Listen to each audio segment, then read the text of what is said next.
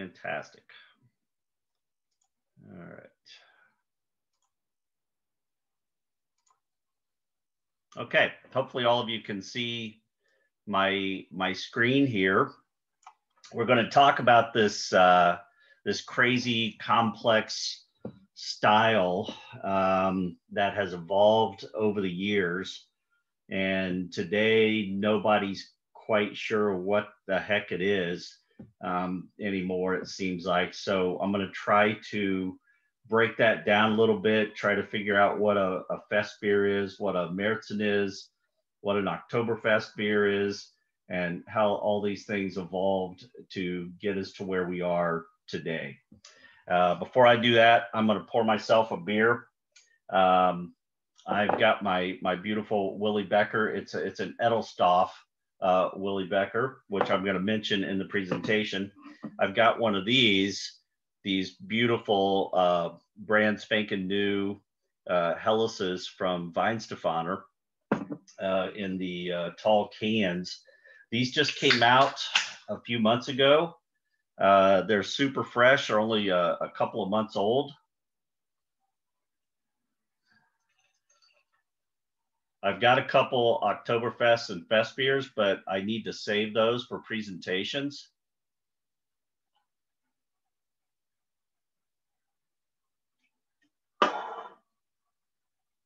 So with that and that beautiful perfect pour right there, that's just how that beer would be served in Munich, right like that with about an inch and a half ahead.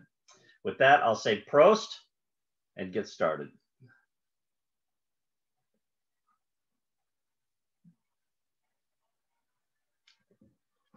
Ah, oh, that is so fresh.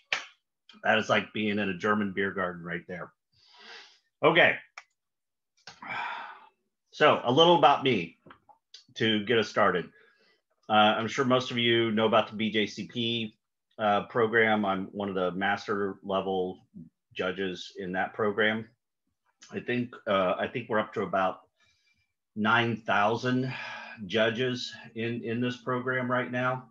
Uh, there's a huge international um, component to the BJCP these days. Almost, I would, gosh, I'd say three fourths of the new exams are international these days. So out of those 9,000 or so uh, uh, active judges, there's only about 125 at the master and grandmaster level. So I, am one of those uber geeks. Um, also took the certified Cicerone exam. I was one of the first certified Cicerones years ago when that program got started. It's a little more on the hospitality side, not quite as technical uh, but gets into a lot of, you know, other components of, of beer, beer service, um, beer and food pairing, draft systems, things like that. I've been teaching for, well, I've been teaching beer judge prep classes for, I guess, close to 20 years now. And uh, I teach at Indiana University, IUPUI, here in here, pardon me, here in Indianapolis. Uh, I teach a, a, world beer styles and sensory analysis course every semester. And I, once a, a, year, I teach a seven day intensive course on craft brewery operations uh, for people who want to work in the industry. And then I've also got some, a three part evening class that I do for the general public on world beer styles and, and some history and sensory analysis type stuff through my uh, Beer MBA website. Starting about 12 years ago, I think, I started uh, running these epic beer trips to Germany, Belgium, the Czech Republic. Obviously, that's been uh, uh, put on hold as we get through this pandemic, but I, I am still hoping. I was hoping to do one in the summertime. It's a little little iffy uh, on the late July, August timeframe, which is when my summer trips usually go. Um, they're they're having a slow rollout of the vaccine, so that may not happen again this year. But I have a Christmas markets and beer trip planned for early December that might go this year. So anyway, if not this year, we'll certainly do it uh, in the years to come. You can check those out on the website if you have any interest in, in this. They're, they're really incredible trips that um, get you behind the scenes in you know situations and places and beer cellars that you would just never be able to to do on your own and um, you know and the hotels and motor coaches and all that stuff's all taken care of so you don't have to worry about all that kind of worry free have fun travel and see super cool stuff. Been homebrewing uh, 30 plus years now. Not as active uh, brewing these days as i used to be but used to be very, very active, won uh, lots of awards, won a national uh, NHC gold medal, um, things like that. And I also um, am an international whiskey judge. So I, I judge uh, on the international whiskey competition panel each year. I've been doing that for six or seven years now. So I'm a big old beer and whiskey geek. So on to the topic. Was ist das Bier ein Bier? What is this beer? That's the big question, right? Is it dark or is it light? Is it malty? Is it dry? What do they serve at the Oktoberfest these days? How do you evaluate these beers? Sometimes they're they're they're broken out into separate categories, sometimes multiple different categories, sometimes they're all grouped together. So how, how do you how do you evaluate uh, a style like that. What should you make? And am I brewing to compete in you know local and national competitions, or am I, just, am I just brewing something that I want to personally drink? Always a big question anyway. So we'll try to answer some of that. Here is uh, some, we'll start off with Paulaner. Paulaner's got a, a, big history, obviously, with the Oktoberfest event as well as these styles of beer. Um, and as you'll see in the next screen here, they make both of them and they're both available uh, here locally in Indianapolis. They probably are where you are uh, at as well. Uh, I took one picture this past fall of both of cases of both of them sitting right next to each other. So, you know, it's not one style it, it is most clearly two different styles these days. So we have the amber version here, which they call the Oktoberfest uh, Märzen. Uh, the amber version developed over 200 years ago to celebrate the original Oktoberfest. Uh, Märzen comes from March beer. I'll explain that more uh, full-bodied, rich flavor, and not it's not full-bodied as we would talk about in BJCP terms, but in marketing terms, yes, uh, more of a medium body actually. Um, but very flavorful beer. Obviously, when you see that kind of color, you can start to see what kind of malts are in there, and you know this is this is going to have some of the darker Munich malts, and it's going to have that bready, bread crusty character and that sort of thing. Uh, ABV 5.8. IBUs about 21. Okay. Then we have this type. Uh, also says Oktoberfest, but this is Oktoberfest uh, Wiesn, Oktoberfest Wiesn. And this is the, uh, the golden version of the beer, 6%, so very similar to the other one, 19 IBUs, very similar to the other one the big thing is is the color, and obviously at this point we're we're losing some of that bready, toasty, uh, darker Munich type malt and that sort of flavor. And uh, this beer's, you know, presenting more like a big malty Helles with a touch of um, touch of Munich in there. Okay. Side note, Wiesn. You saw that on the slide back here, Wiesn. The Wiesn stands for uh, Devisen, and that is the grounds where the Oktoberfest is held. So the locals, a lot of times, they don't call the event the Oktoberfest. They say they're going to Devisen or just Wiesen. Um, this is based on uh, Theresien Wiesen, which is Teresa's meadow, is the translation on that. Teresa was the bride of King Ludwig I, uh, not crazy King Ludwig who built the castle. That's a whole other story for another day. but this was uh, grandfather King Ludwig I, who married uh, Teresa Sachsen-Hildburghausen, and for the party, they they threw a bigger than normal uh, harvest festival as, sort of a wedding reception. Invited all the townspeople out and uh, turned into this giant party, and everybody loved it, and they had such a good time that they decided that they would do this every year, and the Oktoberfest was born. So the Wiesn, when you see that, that's the grounds where it's held. It's it's short uh, uh, slang name for the grounds where Oktoberfest is held. But you'll see that on some of the beers like Paulaners. Uh, similar beer styles. So the modern Oktoberfest beers can be similar to all of these the Munich Helles or the beer we call Fest beer. Um, it could be similar to a Helles export beer, uh, like a Ayinger Jahrhundert. It could be similar to a Helles Bock or Maibock. I differentiate those two. BJCP puts them together, but Maibock uh, has a little different uh, history and tends to be more amber. So Helles Bock or Maibock, it could be similar to one of those. Uh, the actual beer that we call Märzen, it could be similar to a Vienna lager.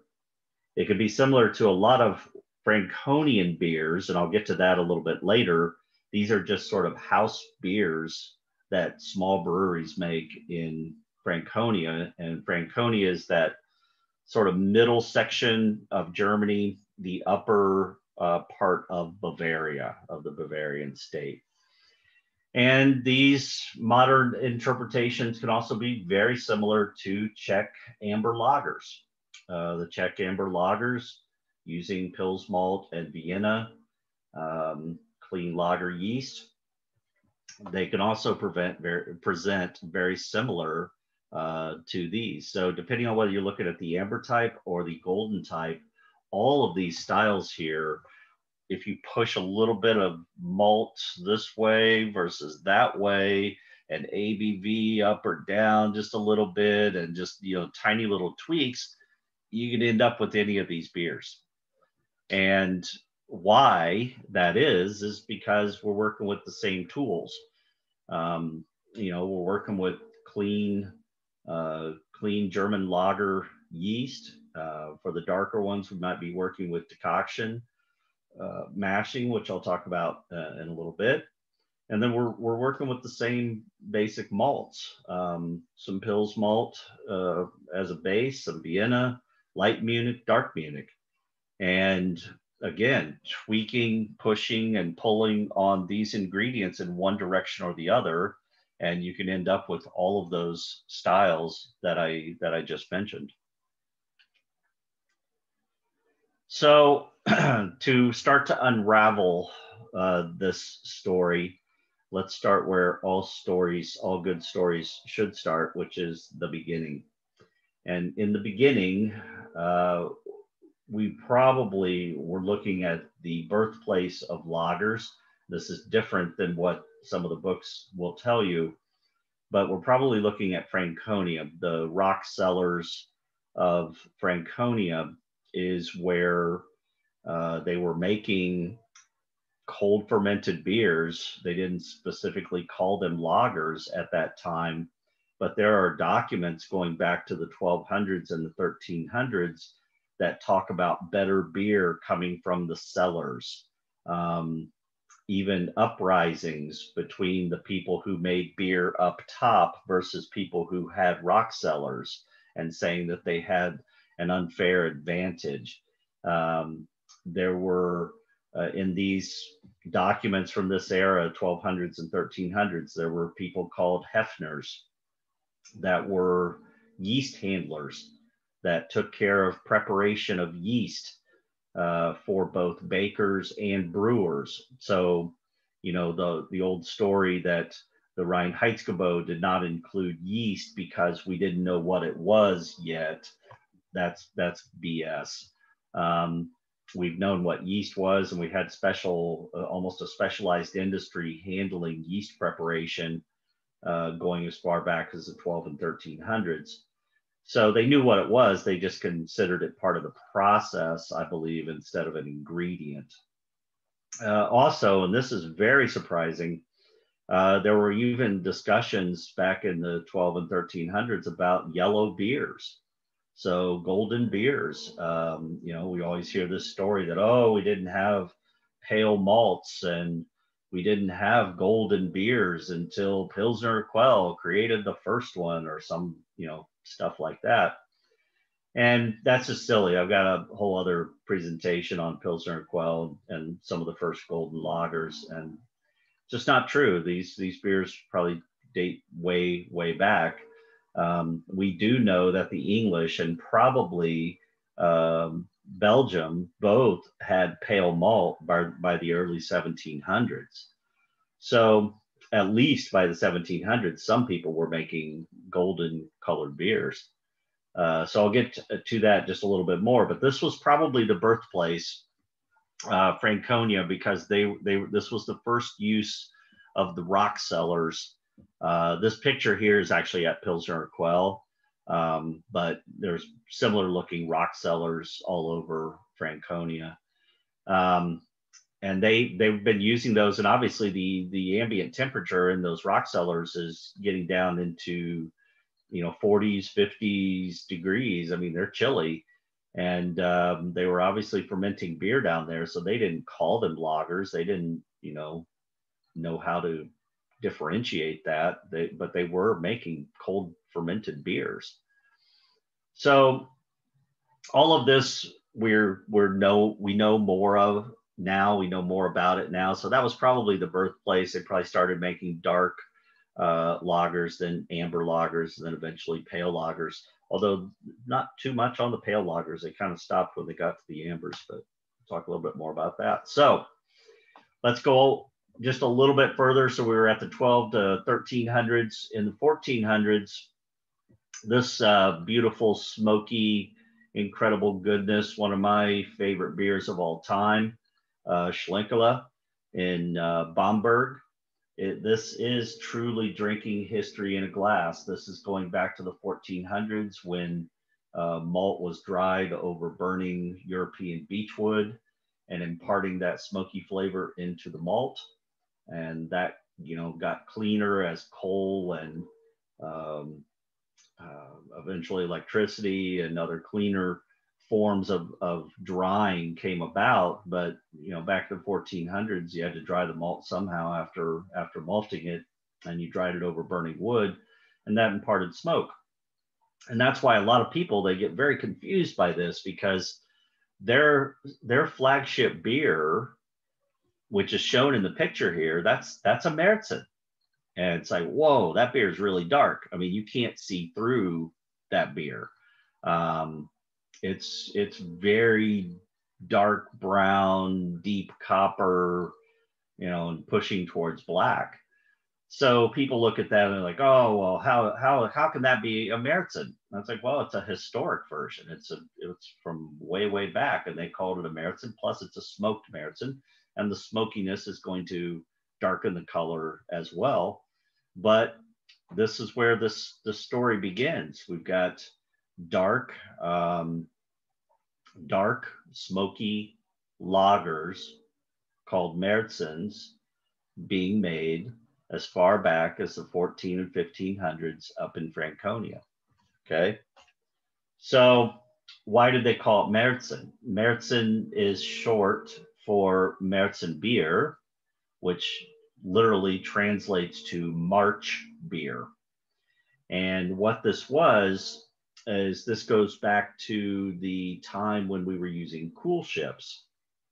And uh, uh, I could talk forever about cool ships, but uh, in short, you know, it was like the picture here. This is at Zum Uerige in Dusseldorf.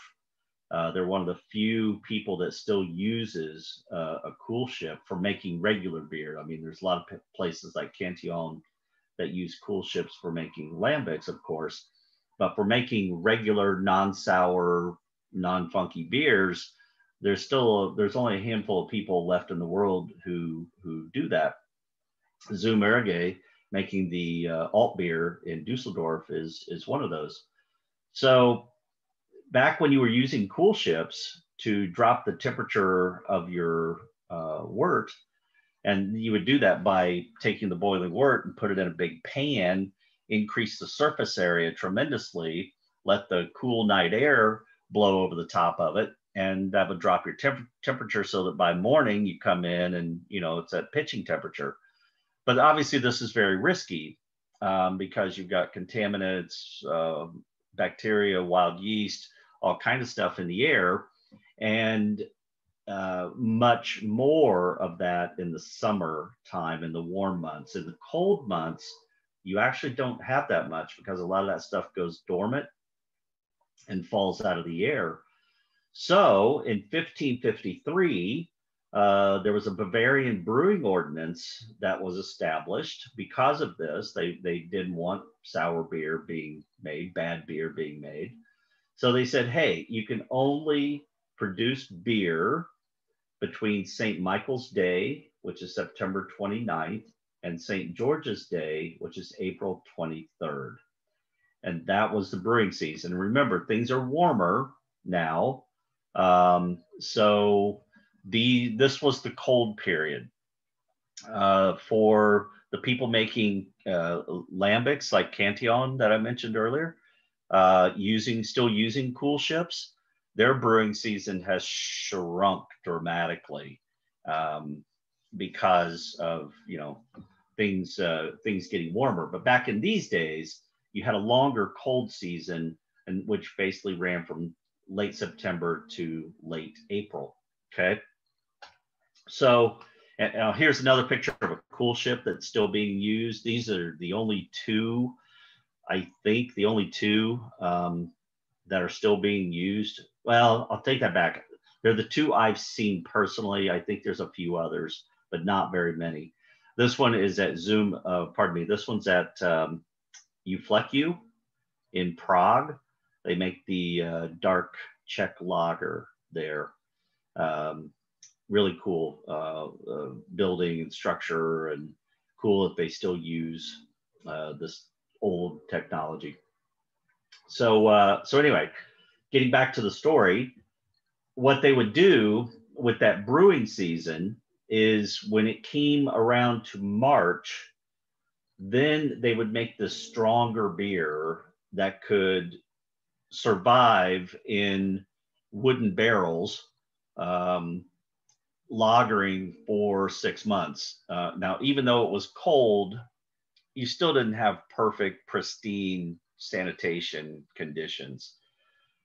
So uh, you still had to be careful with beer.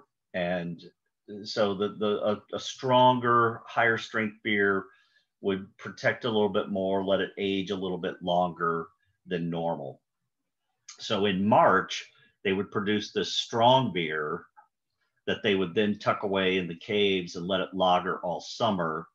Um, and then in April, the end of the brewing season, then they would go back and start working like crazy to make the regular beer that they would then drink over the summer, right? So by the time that that last bit of beer they've made in April is starting to dry up, you're getting into August, September, October, and that's when, oh yeah, remember that March beer that we made? Well, that one's been tucked away and lagering, and now we're ready to drink that one as we get things fired back up for the next brewing season.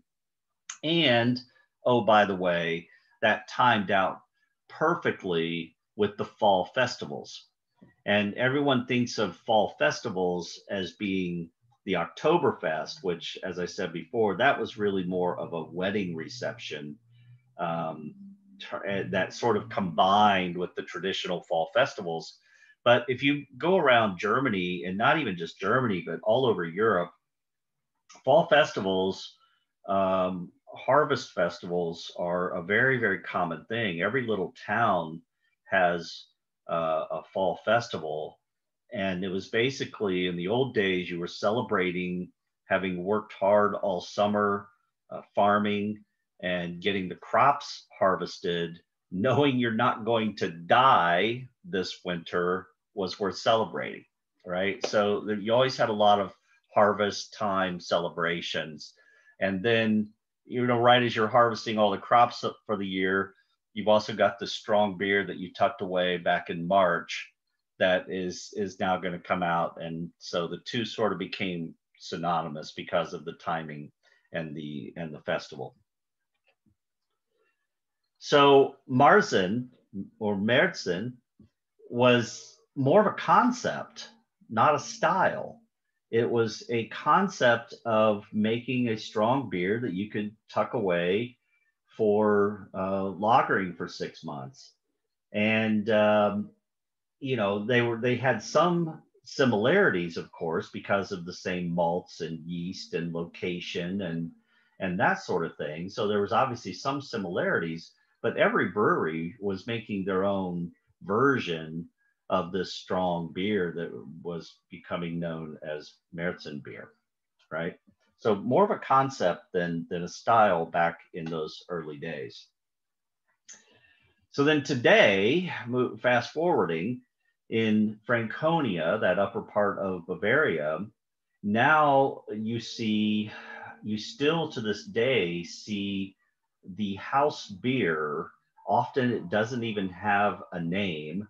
Um, it's just beer, uh, or it's got a uh, it doesn't have a style name, but it has, you know, a name of the brewery or a name of the brewer or the name of the city or you know, it's got a name name, but it doesn't have a style classified with it. But guess what? They're what we would call Märzens. Um, and they're they're basically the house beer of all these little breweries all over Franconia. Uh, Kloster Weltenberg is kind of a, a famous one.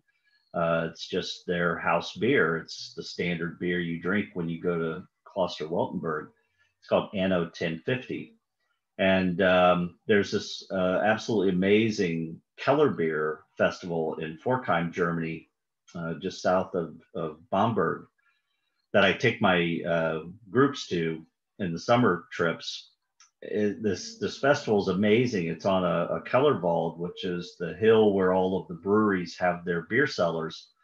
And this one time of year, late July, they they serve their beer directly out of the beer cellar and this this festival goes back 200 years and guess what we're drinking there we're drinking keller Märzens at that festival because it's just the house beer so this amber lager uh, that we know of as Märzen and later became known as Oktoberfest uh, is a very common uh, style of beer in Franconia. So, fast forwarding just a little bit more, Spaten was the first one to really start using these, these names that we know of today. In 1841, Spaten was the first um, brewery to bring a beer to Oktoberfest that they officially called Märzen beer, right? Um, interestingly enough, and of course these guys were were friends. Uh, Dreher in Austria created a similar beer uh, that same year, which he called a, a Vienna lager. Right. We know these styles. Or remember, I mentioned Vienna lagers. A lot of times people don't think of Vienna lagers uh, as being uh, Märzens, but they have way more similarities than than you might initially think. Little tweaking of the malt, and uh, yeah, very similar beers. So then in 1872, uh, Spaten was also the first person to name their beer Oktoberfest beer. So this this is where we're so first we've made the official switch of using this amber lager from Franconia um, that originated in Franconia. They start making it around Munich, and then in 1841 they take it to the festival and they call it Märzen beer. And then in 1872, they changed that to Oktoberfest beer, right? So now all these things are starting to, to intertwine. Little side note, as we talk about these dates, 1841, 1841, It's called Märzenbier. They introduced this amber lager to Oktoberfest, and Dreher is introducing his amber lager, the Vienna lager, uh, to Austria. That's 1841. What else is happening in the world around that time? 1842, Pilsner Urquell, the first golden Pilsner style beer, is introduced to the world. Now, they get a lot of credit for being the first Pilsner. And, you know, it's named after the town of Pilsen that it was created in and all that. But you know, there were other people, smaller breweries. We know they had pale malt. We know they're making lagers. Um, and Pilsner Urquell went and got, you know, a Bavarian brewer from a small little unknown brewery.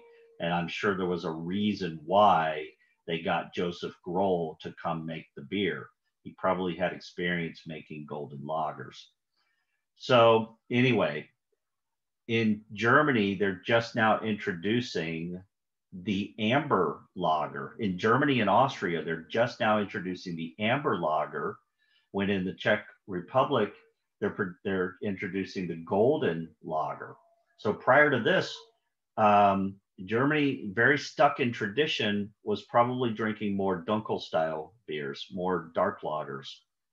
So this was kind of a big thing to introduce an amber lager around this time, but they were way behind because others were already producing golden lagers. And in Pilsner Urquell, they're, they're already producing, you know, this uh, uh, first Pilsner style beer. So the big Munich, breweries, they had the capability to do this, but their traditions were kind of holding them back. Uh, there were small area, uh, small Munich area breweries making golden lagers at this time. This made those uh, big breweries in Munich very angry. Uh, there's some quotes from like the um, the head of Augustiner in in Munich that that that was very upset with these small breweries for making golden lagers and saying that they were just advertising for Pilsner. They were advertising for this golden beer from the other country, right? How dare them do this? So it took a while for them to break out of this mold and, and lagging behind the industry 30, 40, 50 years.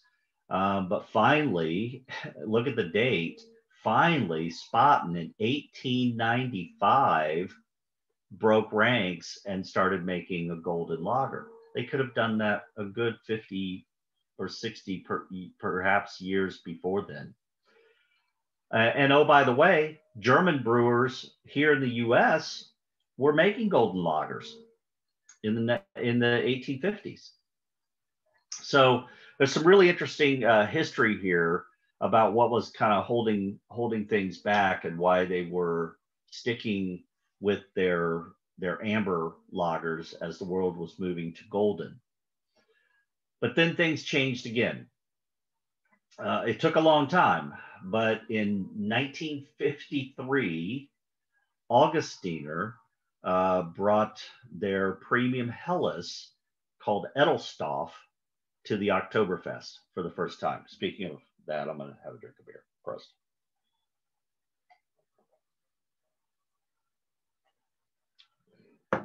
Mm. So after Edelstoff gets introduced in 1953, the the fans just went crazy for it, right? The attendees, this was by far, from what I've read, it was the most popular style of, of that year. Everybody loved it. And it still took some time for the other breweries to come out of their, you know, being stuck mode.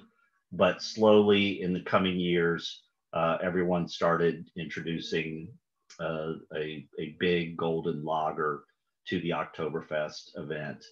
So by the 1970s to the 1990s, somewhere in that time frame, uh, golden lager was the only type uh, there. Now, this story is is interesting because there's some very notable um, German beer experts who say that Paulaner first introduced the golden beer in the 1970s. And um, I actually found uh, some research, some information coming directly from Paulaner. And Paulaner saying that Augustiner did it in 1953. So I I tend to believe that. Um, first off, it's way past the time when it should have been introduced. We're hundred years, literally a hundred years into golden lagers um, at this point. So it was well past time for those to be introduced.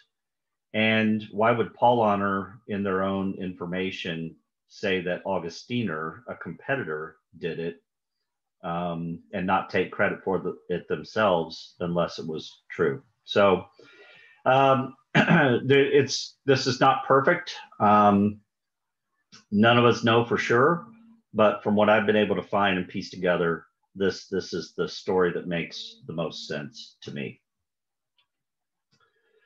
So today, um, as of the 1990 standard, um, the original gravity, and this is translated from Plato, and it's it's it's you know roughed and estimated, but it's basically uh, in 1990 they said, okay, we're going to make uh, the the beer served at Oktoberfest needs to be an original gravity of 1055 to 1058, needs to be about a six percent uh, ABV beer, and it needs to be golden in color. The only people who could use the term Oktoberfest beer legally are those uh, six breweries from the Munich area Augustiner, Hacker-Pschorr, Hofbrauhaus, uh, or Hofbräuhaus, uh, Löwenbräu, Paulaner, and Spaten. They're the only ones that can officially say that. Others must say something else. And I love, love, love what's on the uh, the Ayinger uh, label. Look at that, right? They can't say Oktoberfest beer. You can't say Oktoberfest beer. So look what they said: October, different word, fest dash Märzen.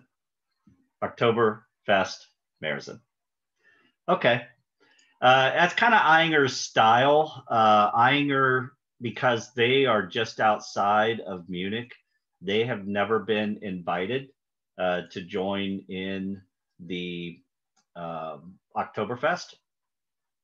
Uh, so they have, have always been a little bit of an outlier and they always seem to kind of stick it to the Munich breweries. They, they tend to make their beers, everything's just a little bigger, a little more flavorful uh, a little nicer. They're still a family-owned brewery where everybody else is has been, you know, bought up by um, big conglomerates. I think, with the exception of Augustiner, uh, which is still uh, uh independent.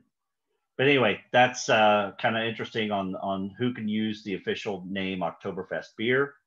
And then lastly, just kind of a side note, Paulaner, uh, they don't even make their amber style for Germany anymore. They they make it. I showed it. We talked about it earlier in the presentation, but that is only for export.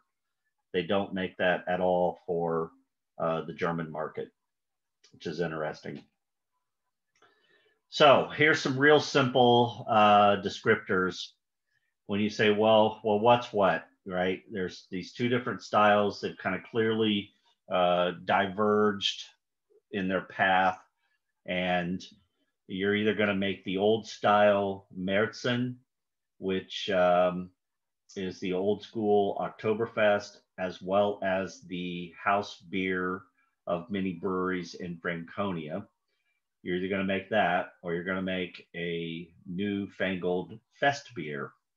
And if you're going to make a Märzen, and don't kill me for this descriptor, but it, it makes sense when you think about it. It's like a small, less malty, drier amber Doppelbock. Um,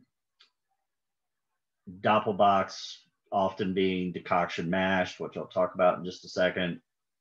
Um, they do come in different colors. You have Helles or pale versions. You've got really dark versions like Optimator. Um, but Salvator, ones like that, the amber colored Doppelbocks, if you made that, you know, 2% smaller, uh, less malt focused and just a little drier in the finish, eh, it's pretty much, you know, uh, a good descriptor of a Märzen. For a fest beer, uh, you're kind of using a Munich Helles as a base, and you're you're making a little stronger, a little maltier uh, version of a Munich Helles, and that would kind of be the general descriptor of, of a fest beer. For more exacting descriptions, obviously you can go to BJCP. For one example, you can go to GABF uh, style guidelines. You can go to World Beer Cup style guidelines. Uh, all depends on on you know what you're making and who you're making it for. But there you're going to get all the parameters. But this is in general, this is kind of what you're shooting for. If you think of Doppelbock and Munich Helles as two styles, a lot of people are very familiar with, and then you use this this these changes to those popular styles. That's going to lead you to these um, general uh, areas of a Märzen and uh. Some brewing tips on these. Uh, first off, to talk about specific details of, of malt percentages and exact malts to use, um, it's that's that's a discussion that just goes in circles and would last forever because there's a million ways to do it. There's there's a million recipes out there.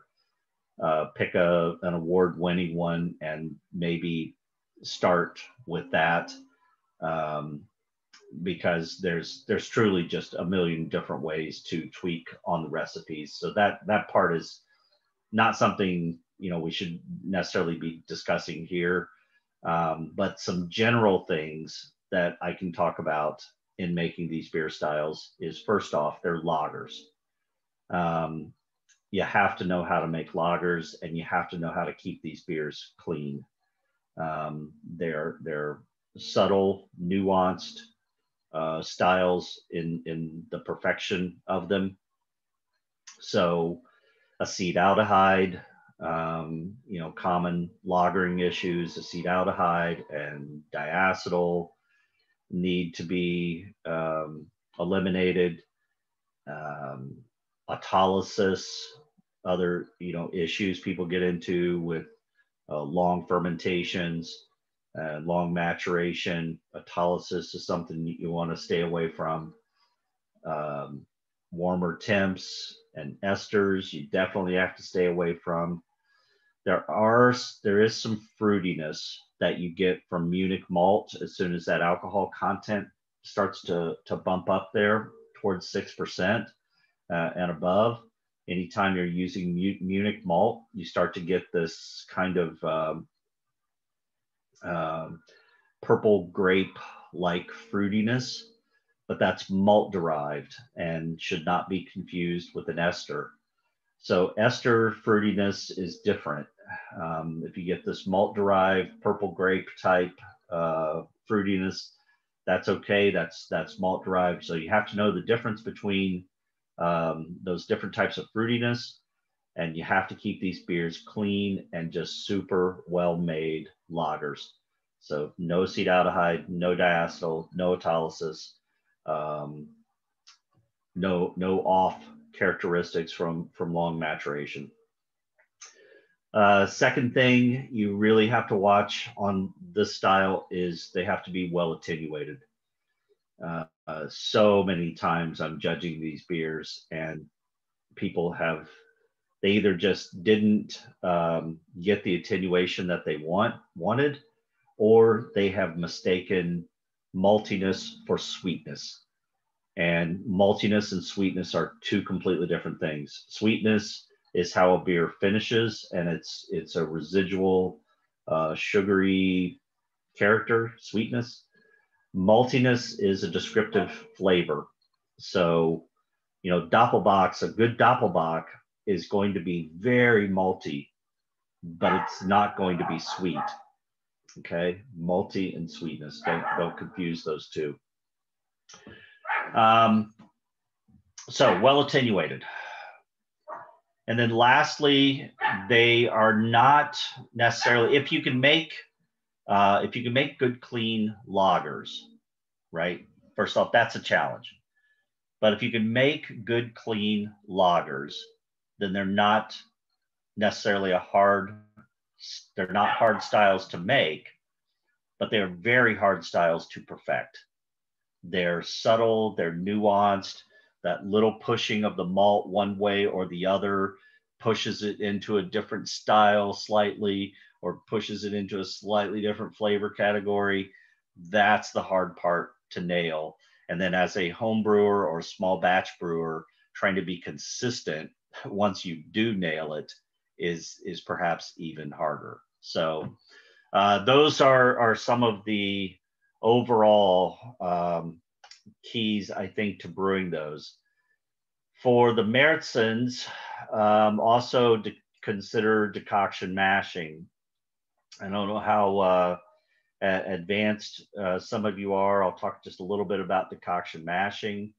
Um, most brewers today do a single step mash, uh, hold it at the uh, saccharification rest, and convert starches to sugars.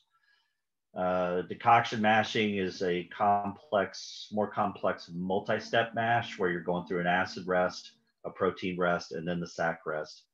And in the old days, you know, this was how they they used decoction because they didn't have thermometers and they didn't have a way to um, to know what temperature they were at.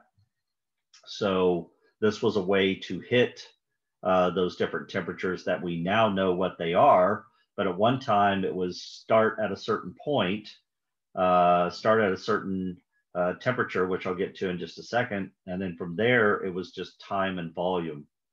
And what you see in this uh, chart, I think this shows it very well what a decoction is. If you start here, uh, you know, around 100 degrees at an acid rest, pull about a third of your mash out, take it to a boil. That's what this is up here. So that's what the dotted line is.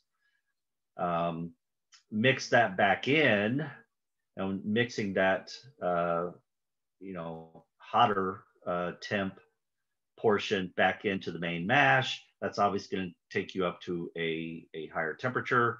Mix that all together, pull that out again, uh, pull out another third, take that to a boil, mix that back in. It's going to take you up to another temperature. We know that as the saccharification rest now. Do it another time, pull that third out, take it to a boil, mix it back in. It's going to take you to your mash out temperature. Okay.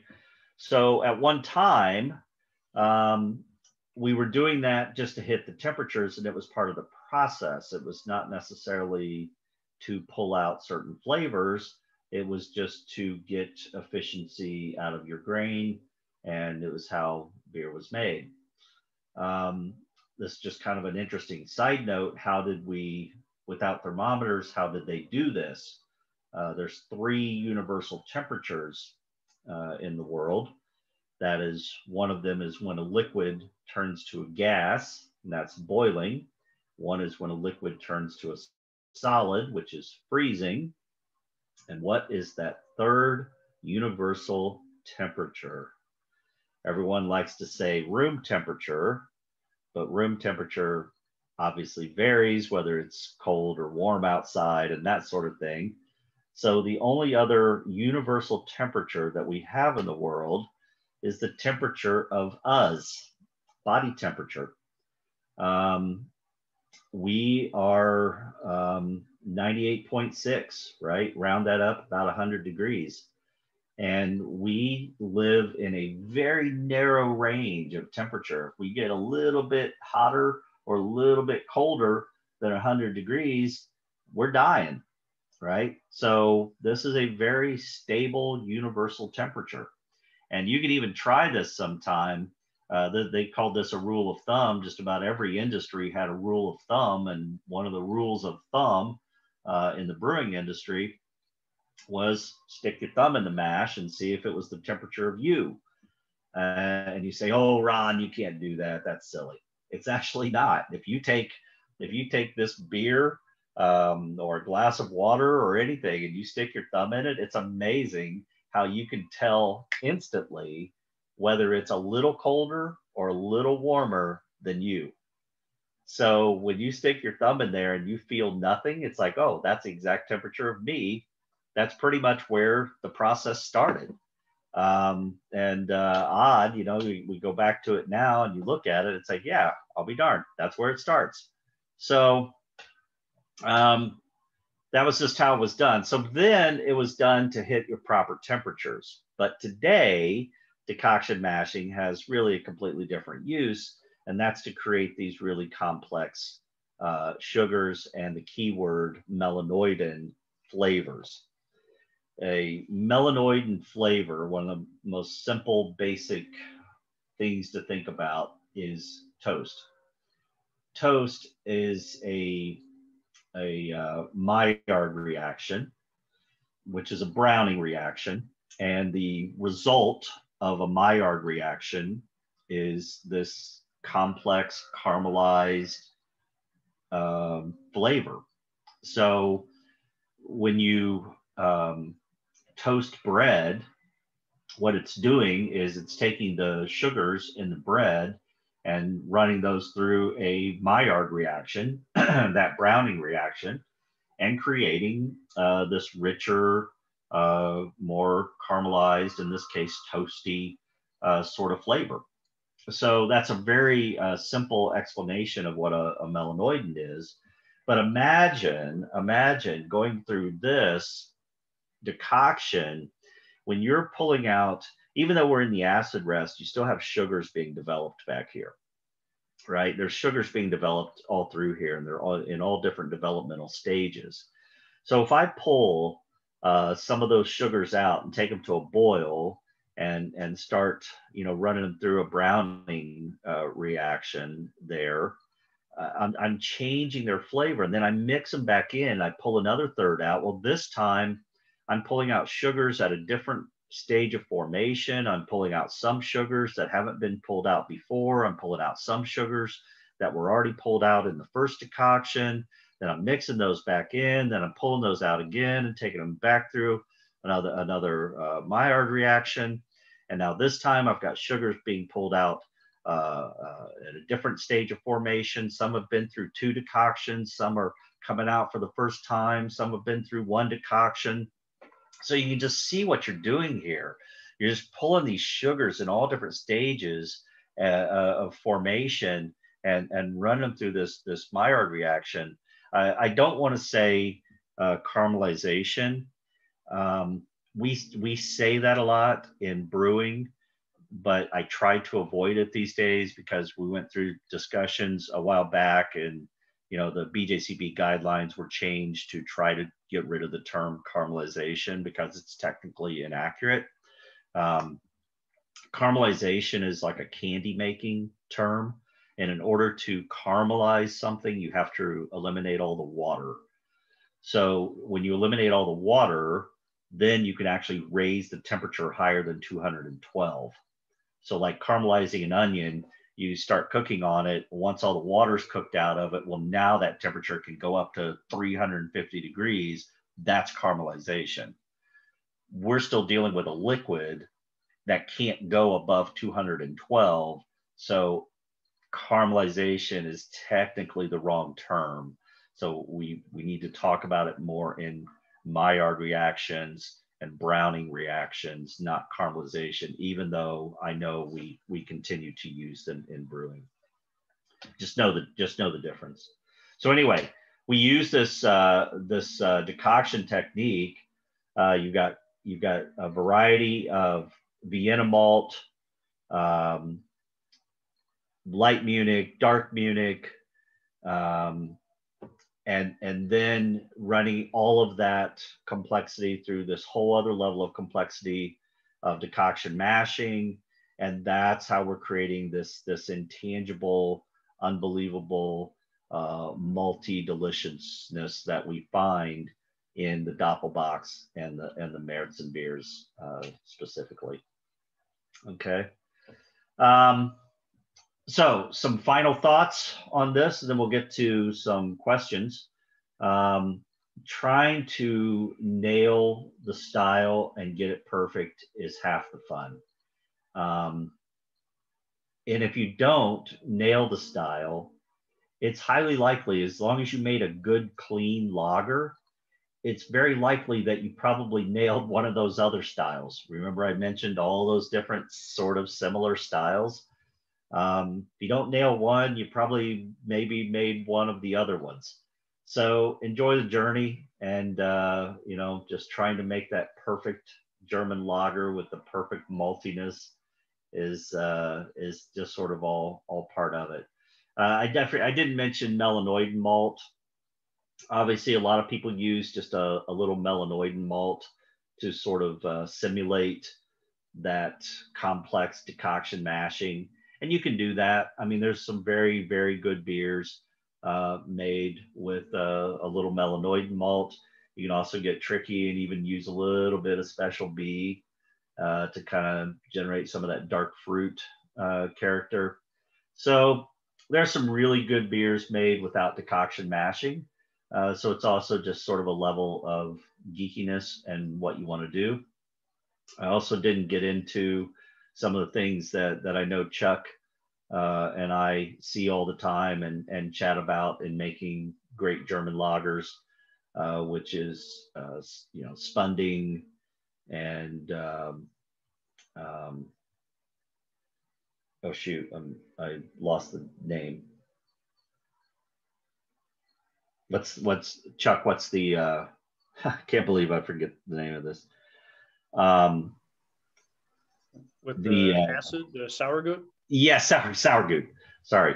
Uh, you know, a lot of folks are going to talk about it can't be an authentic, wonderful German lager without using Sauergut and um, and uh, spunding, which is you know collecting the the natural carbonation, and low dough, uh, whole low oxygen brewing, and while I know all of those things improve a beer, um, you can still make really wonderful styles without doing any of that. And it's been done and has been done for hundreds of years. Um, so, to me, uh, those are wonderful things to do. Uh, a lot of us are in this hobby because we like the equipment and the gadgets and the whole technical geeky aspect of it. And uh, you know using Sauergut making your own Sauergut and and uh, you know adjusting your ph with that and spunding and uh, the extra steps to to do low oxygen brewing and all of that stuff is you know it's it's what a lot of people want to do um, but you don't have to do that uh, against what some people may think. You don't have to do that to make a great German lager. Um, and there's, as I said, there's evidence all over Germany of small breweries that make very wonderful beers and really don't even do any of that themselves. So, um, anyway, uh, a little bit about me. Uh, staying in touch with me, please do. Um, my website, beermba.com, you can see all about my trips and stuff there. Uh, on Facebook, I'm pretty maxed out on friends. Uh, might have room for for a few folks, but I've, I've got 5,000 and Facebook won't let you have any more. So I got to delete some every time I um, every time I add some, I have to delete some.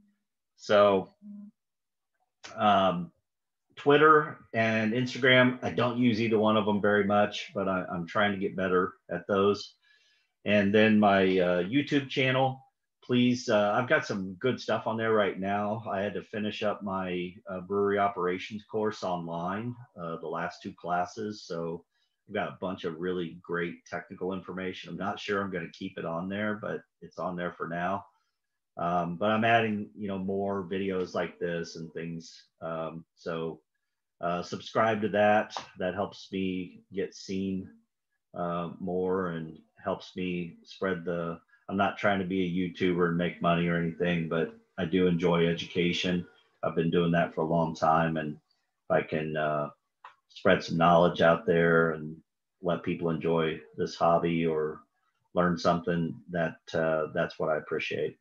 So my my YouTube channel, and I'll send out a link uh, about this later. And uh, other than that, just thanks so much for having me and uh, uh, letting me yammer about beer for a while.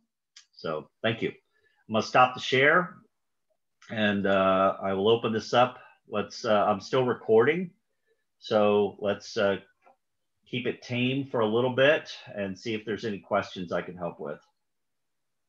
Well, just first off, thank you very much for sharing kind of your knowledge and experience in the space. Um, you know, a lot of history and background, and um, you know, super interesting. Uh, particularly for me, having a German heritage, and like I had grandparents who came to this country and brewed German and Austrian beer styles at home in the basement, and yep went up the street to the brewery with a little pot to get some yeast to bring home to to pour in the barrel and stuff like that. So yeah, yeah, you know, I, I didn't mention that, but you're in Ohio. Um, I'm in Indiana. All over the Midwest, we were pretty much founded by Germans. Um, in the 1800s, we we grew substantially here in Indiana, and almost everybody that came uh, during that time period were Germans. So about 90%, it's been estimated 90% of the population, uh, the original population of Indiana were German. And I, I would guess Ohio is uh, just about the same, if not even maybe higher. So uh, we were we were pretty much founded by Germans, and, and if you look in, into our heritage around here, that's that's where all the German brewing and beer culture is.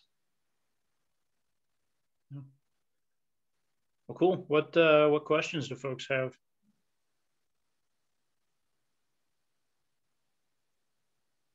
Well, tell me, tell me where.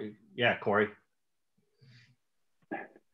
So, uh, just out of curiosity, I am uh, I do all grain. Uh, I do not have fermentation temperature control, so I'm just doing ales.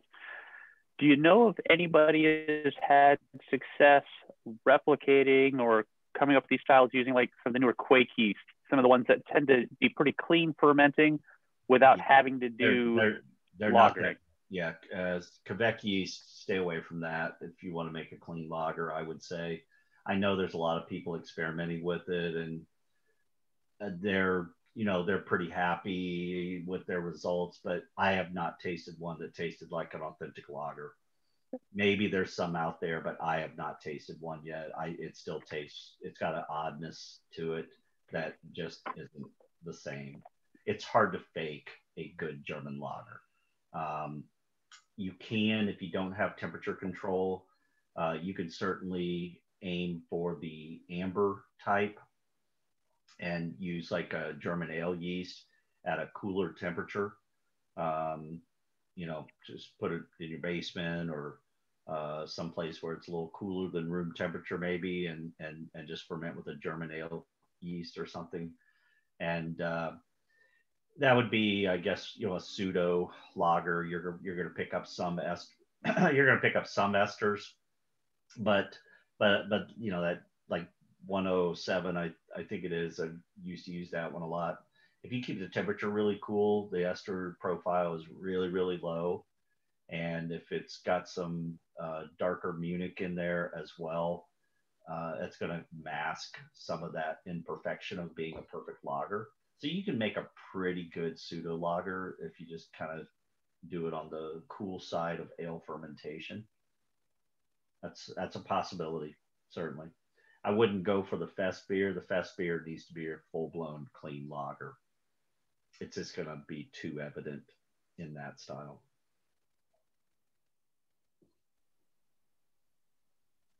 But anyone else? Anyone doing Lodo and some of that uh, high tech stuff I mentioned?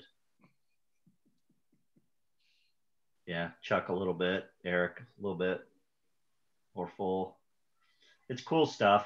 Um, I've got a lot of friends over here, uh, full full on Lodo, and I've seen some really cool experiments with it. Um, it there there's definitely a um, a change, and it's an improvement.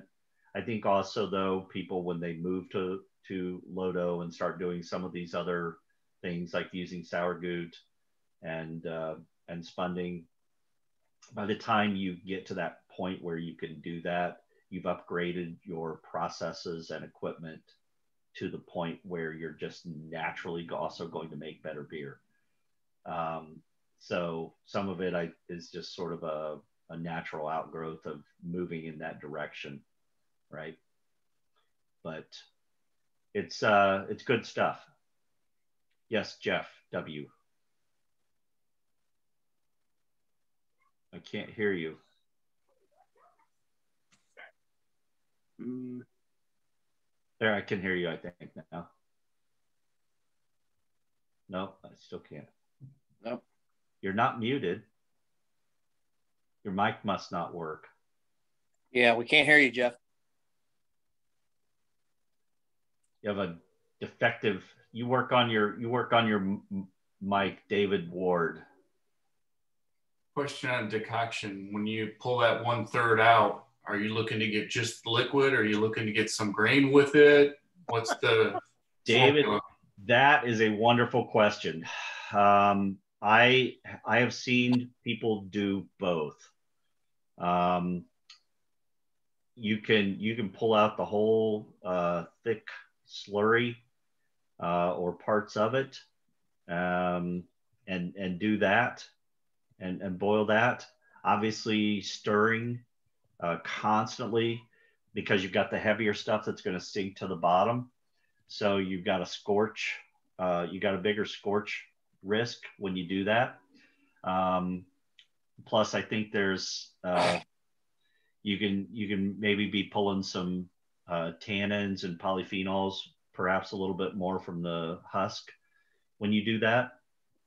Um, but I I've seen and heard of it being being done both ways. If you're interested in doing that, I I'm not an expert on decoction. I've done it a few times many years ago. Um, I'd, I'd look into it a little deeper and maybe ask on the German brewing site. That's a great wealth of, of knowledge on there. You could ask a question like that and get a lot of experienced feedback on it. Yeah, I can. It's a great question, though. It's a great question. Yeah, I, I can. So personally, I've done both. Um, sometimes I'll pull a thick decoction for jumping from like, I don't know, like a 145 to like a 162. But then I'll do like a thin where it's just almost strictly wort to take it to the mash out. Just as a simple way to kind of do that. Um, I got a separate little induction cooktop for fooling around with that. Just it's it was kind of it was it's tricky if you've got a burner. I tried to do it once or twice on a burner, and that was kind of your your burner better have really good control, or else you're definitely going to scorch something. You have to really stay on top of it. Um, the induction cooktop is kind of slick that way in that you'll never you'll never scorch something in those. I mean, you have to really try hard, I think, to to score something in them. Mm. Um, so let's see. I wanted to check and see if Jeff someone, was. Someone asked about that smoked beer mentioned earlier. yeah. Uh, there, there's some great recipes out there. The one thing I say about smoked beers is go big or stay home. Uh, too too many people want to put like 15% smoked malt. Well, no, 100% go for it. Uh, if you want to make a good, awesome smoky beer, you're going to use uh, almost entire, uh, entirely smoked malt. And even even doing that, if you're buying, it's better today than it used to be. Um, but uh, if the malt gets old, it loses some of its smokiness. So you want to make sure you have really good, fresh smoked malt, and then use a very high percentage of it. If you don't and use a low percentage, um, some people like it that way, but I'm not a fan. To me, it it, it pulls out more of the medicinal components. It's too apt to do that. You know, uh, medicinal chloraseptic like phenol and smoke phenol are very close to each other. And uh, it can very easily sort of slip to one or the other. It's that slippery slope of phenols. I have a whole presentation on that.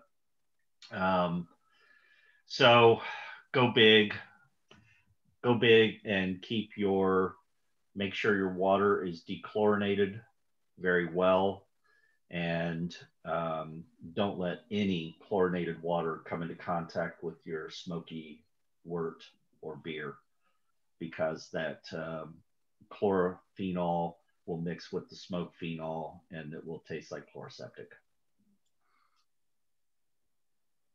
Like, is that just a fancy way of saying shit? no, no, no. Chloraseptic is uh, uh, the, the throat spray. Oh, okay. All right. Um, like, or or uh, really to be like septic, like septic system. I was no, like, that's no, no, no. pretty Chlor- bad. Travis. Chloraseptic, a common throat spray. Uh, also, it's the same, same flavor you get out of a really uh, peaty scotch like Laphroaig. Okay. Uh, Laphroaig, Ardbeg, they have a very chloraseptic yeah, not like septic tank. Uh, yeah, that's what I thought you were. I was like, man, that's I'm yeah, not. I just did. That, I, am not. I'm freaking out now. I just did a smoke no, that. That's called enteric. uh, that's the fancy way of saying shit. I was like enteric. You don't want enteric either. Sorry, I'm that guy in the club. Yeah, that's all right. okay, guys. Any other questions? So I, I just have one question real quick. Yeah. So you're saying to pull off like something like a really good Mars, and you have to have the, most important thing is controlled fermentation down. Certainly one of the most okay. things. Yeah. Okay. Yeah. That's to, uh, like I said, you can do a you can do uh, the multi or amber colored uh, Märzen. You can certainly do that a little easier and make a, a close uh, approximation of a of a lager with that. Um, mm-hmm but to, to pull off a fest beer, uh, you're definitely gonna need to make a really good German lager. Okay. Proper. Yeah, that's. I think that's where I'm messing up. I'm trying to fake it, and it's just not, not happening. It it it's, it can be a subtle thing uh, to some people, um, but to others, it's very glaring. And it just uh, doesn't have that lager bite. It has. It's just too sweet and it's not even like you were saying a multi sweet. It's just too sweet. It's just not. It's not finishing where I need it to or anything. I mean, it just as soon as it looks great, but as soon as I taste, it, I'm like, nope. Uh, nope. Too sweet. Too sweet would you know under attenuated uh, is what I would be concerned with there, and that's more of you know pitching volumes and uh, health and vitality of yeast. And uh, you know th- things like that is and making sure the right uh, the right sugars are there to be fermented of course. Mm-hmm. um, uh, so if you're all grain and you're mashing uh, make sure you're not mashing too high because you get up 155 and a little higher than that and you're making uh, you're making a lot of unfermentable sugars that just aren't going to go away so, and, and, you know, I've seen this. So, what, what would you, you What you what mash temperature do you like to see on something like you, that? You have to make sure. Uh, before I get to that, also make sure that your thermometer is calibrated. Um, as a club, we've gotten together multiple times. Haven't done it lately, um, but we've gotten together with a, a lab calibrated thermometer, and it's like everyone bring your thermometer to see how close you are and shit, there's thermometers out there that are five degrees off. So if you're having a like if someone's having an ongoing problem with their beer, it's like everything's not attenuating, everything's too sweet, and they say, "Well, I'm I'm not mashing too high." Maybe you are, and you don't even know it because yeah. the thermometer's not not uh, calibrated properly. So everything's five degrees higher than what you think it is. You know. So you think you're, you're mashing at 152 and you're mashing at 157. Big difference. Big difference. So where would you mash on these? Uh, depends on the on the recipe, but Um, uh, probably uh, a, a, bit lower than 155, probably maybe 152 ish or something like that. Okay. Thank you. Yep. Now, are most of these beers, do you do a diacetyl rest? Um, you know, that's up to it's it's let's say this. It's always a consideration when you're making lagers because the the potential is there for your yeast to start to go dormant on you and not finish its job of, of reabsorbing the diacetyl that got produced, right? That that capability is always there. But if you know your system, trust your system, and trust your yeast, um, there's a lot of people that don't do diacetyl rest and they're just fine. I know I know of uh, more than one very good, well-known German lager producer in in the U.S. that don't do diacetyl rest. They don't need to. Okay. So it's always a concern, and you should always think about it. But it's not something you absolutely have to do um, to to get them right. I, I, I don't need to on on mine. I don't make that many lagers, but when I do, I just control the temperature and let it go and let it finish, and it's always fine. Okay.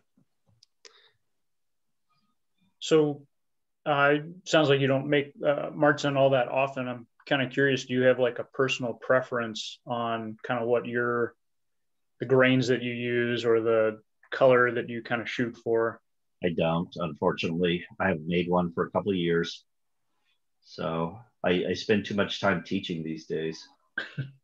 and there's so much great available beer too. I mean, even just like this beer right here, we're getting these beers in from Germany and they're so fresh now.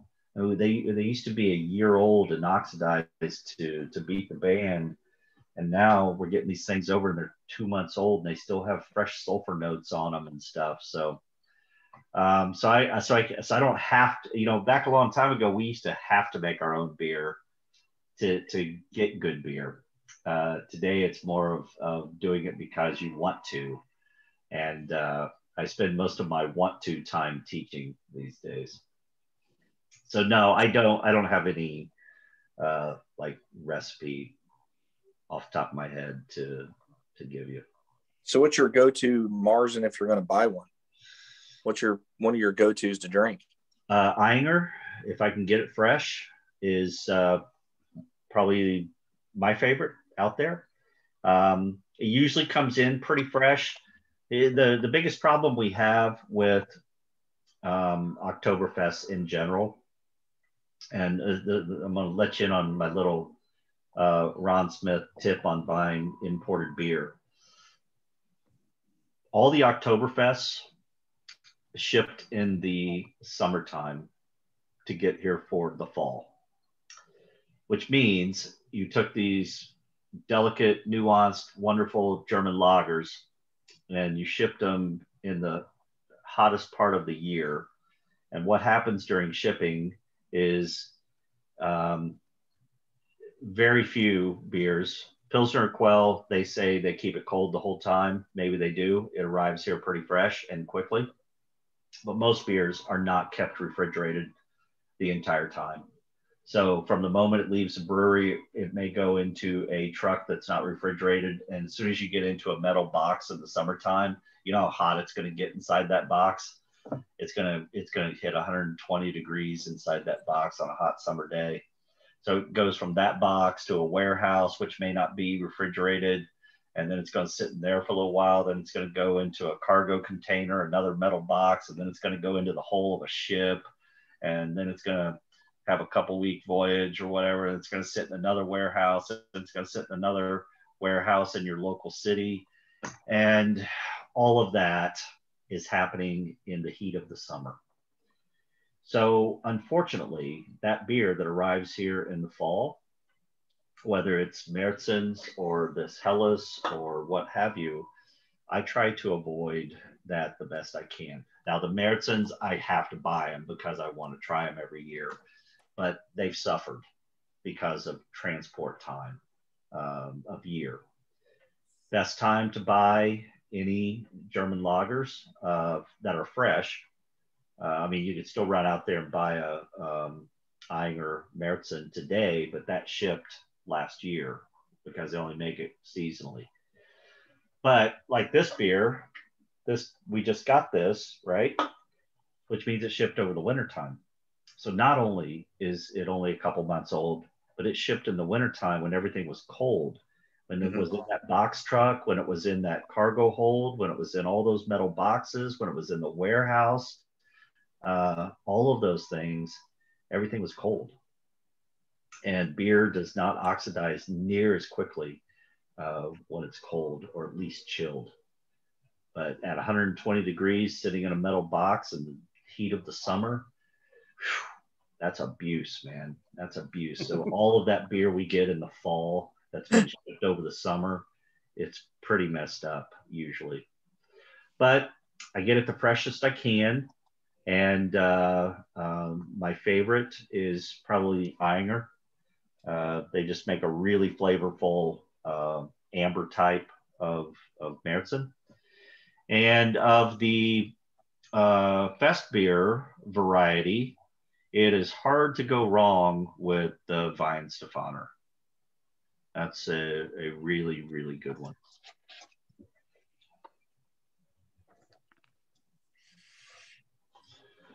All right, guys. All right.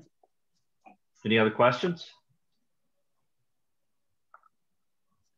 If not, I'm going to turn off the uh, the audio. Thank you guys so much. We'll get this stopped.